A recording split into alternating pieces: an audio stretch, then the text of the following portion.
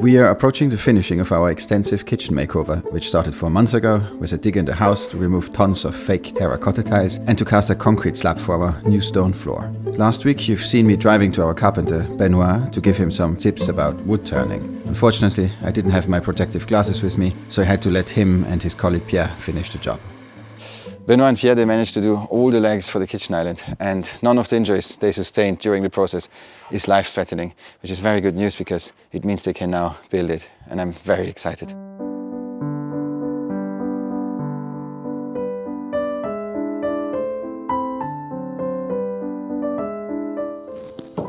J'adore déjà. T'adores déjà Oui, le fait qu'il était en, en genoux devant moi. Non, c'est surtout devant mon travail.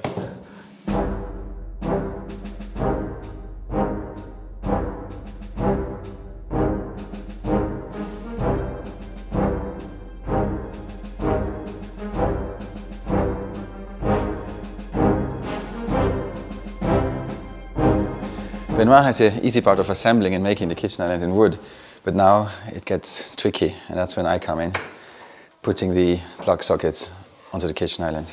Two holes perfectly aligned. Are you sure? Yes? Should we measure? No? Do you want to see these essential moments of the assembly of the kitchen island? This is the cherry on the top. You've got the moves of a pro, Philip. Yeah. I just realised you've got your orange in the kitchen. What? I'm on a killing mission, a real killing mission. I'm looking for an insect that made a hole in one of our trees that we just bought. I called the nursery where I bought the tree and they said I could potentially find the larva that is responsible for the hole with this. This is a tree, it's the American red oak. It was actually the most expensive and the biggest tree we bought. And right here, I found a hole yesterday. If you know what it is, please let me know. Oh my goodness, this is very deep. I don't think this is a good sign. Look at this. Oh no. It's that deep. Whoever has been there has been there for a long time. This is a massive, massive hole. I'm really worried about this tree. If you have an idea, let me know. Is this tree gonna die? Is this tree gonna survive? What a pity. It's a beautiful tree.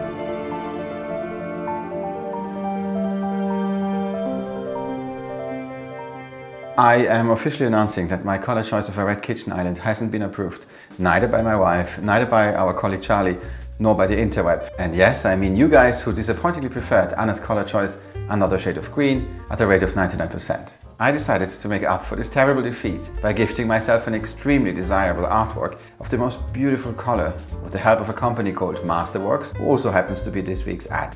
Masterworks gives you the possibility to invest in art by names like Warhol, Picasso, Basquiat and other iconic artists. And I personally think that investing in art is interesting for many reasons. First because it's cool to invest in art rather than some random stock, but also because contemporary art prices, the kind of art Masterworks offers, have outpaced the average of the top 500 stocks in the last 25 years by 164%. That might be true, I hear you say, but how should I invest in art if I'm not a waste pipe influencer billionaire like you, Philip? But that's exactly what makes Masterworks so brilliant. They have a team of art experts, find trending artists with high potential for growth and price appreciation. Then they purchase paintings by these artists and enable you to invest in just a portion of them, instead of needing millions for the full thing. When I saw they had this orange Mark Rothko on their list, I had to click the invest button. I didn't get my red kitchen island, but now I'm the proud owner of a share of an amazing piece of art by one of the most influential artists of the 20th century. When the moment is right, within the next seven years, Masterworks will auction the painting off, and if I'm lucky, I will make some profit. Now, as with all investments, no profits are guaranteed, and you might get back less than what you invest. But so far, each of the paintings Masterworks has sold has returned over 30% to investors net of fees, and that sounds quite good to me. If you would like to know more about how to invest in some fine art with Masterworks, let them know I sent you by clicking the link in the description and you will receive priority access to their services.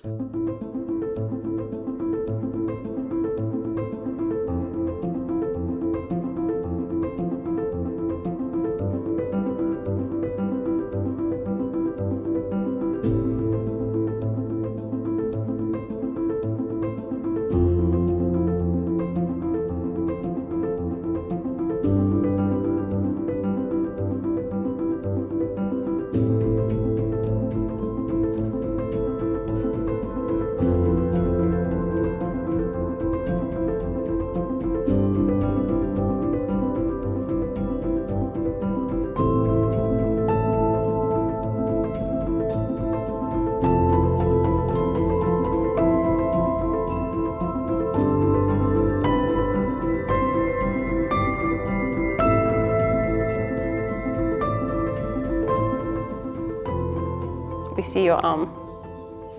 Do it without your arm.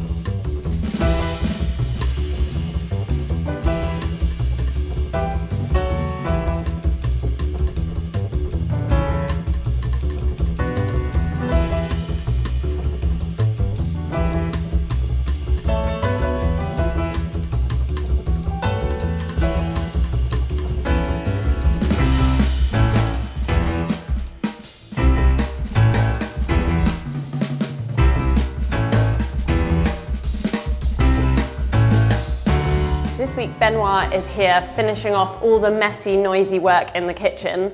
So I thought I would take advantage of this moment where I can't be in the kitchen and we've closed down the guest house for a few days to get some jobs done that I've been waiting to do for a while.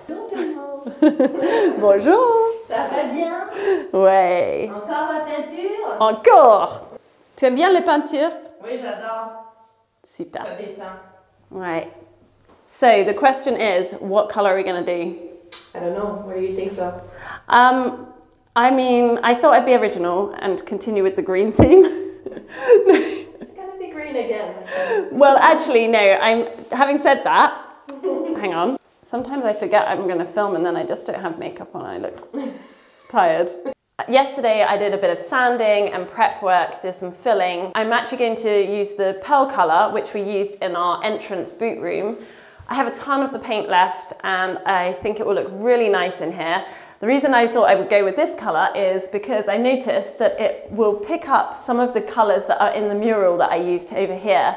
So I think it will work really nicely with this dark green colour. It's a lighter colour, which is good because there's no natural light in the toilet. And then I'm thinking to go for a kind of paler colour on the um, panelling and the bottom. And then accessorising probably with some nice pictures that I need to source on the walls.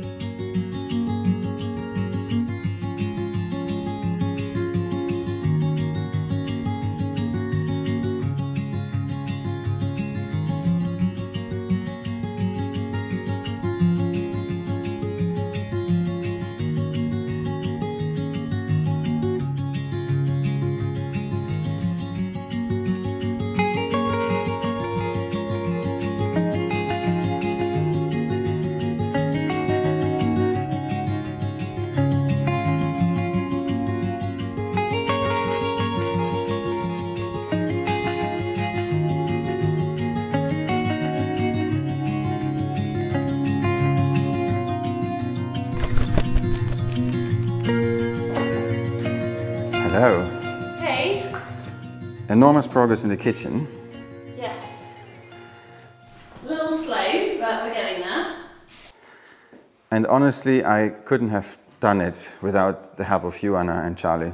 Yeah, of course. It was our pleasure helping you. I thought you would be finished by now, though. Oh yeah, did you? Yeah, at least with the base, base color. Ah. What have you been doing this week? Oh, I, I was terribly busy. Mm-hmm. Doing what? Influencer stuff. Oh, okay. Yeah. All right, well, see you later then. I'm sure there must be some urgent influencing things you need to be doing right now. No? Yeah, but you missed a bit here. Look, up here. Ah! Why did you do that? Wow, that's. And is this product even male skin friendly? Enjoyed this episode, don't forget to subscribe and hit the like button. For exclusive videos and behind the scenes updates, have a look at our Patreon page. Thank you so much for watching.